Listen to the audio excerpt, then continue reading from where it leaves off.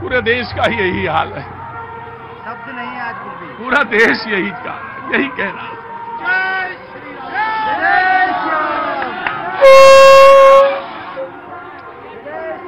यही है यही है।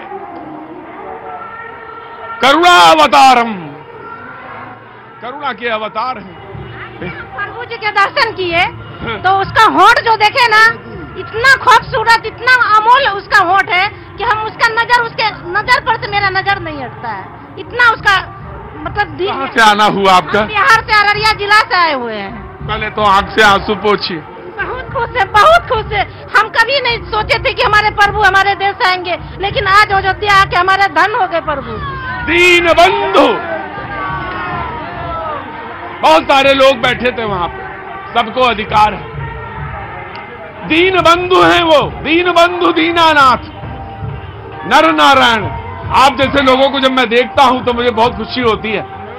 दीन बंधु हैं वो दीन बंधु हैं। जब जिस तरह से देखेंगे ना प्रभु को प्रभु उसी तरह से मिल जाएँगे। जी जी जी ये उनकी हाँ। ये उनका चमत्कार। चमत्कार है वो उनका जैसे प्रभु को देखेंगे वैसे ही पा जाएँगे प्रभु को।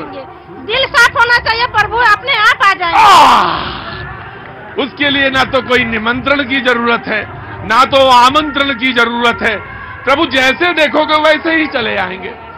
यकीन मानो आज मेरा मन हाँ? हाँ जी, कहाँ से आना हुआ?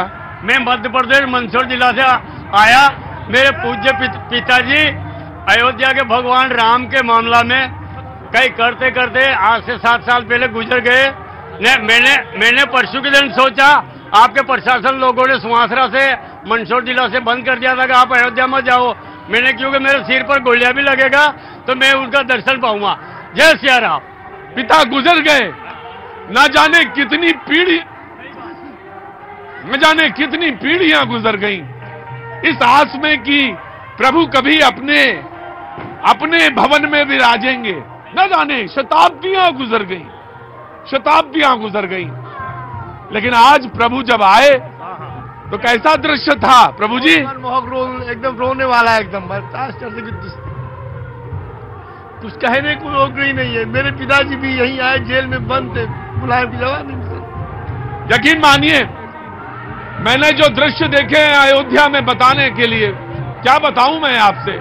आप देख रहे हैं कि दिए जल रहे हैं। दियों में तेल है। ना ना ना ना इस धोखे में मत रहिएगा कि दियों में तेल है। इसलिए वो जल रहे ना ना ना।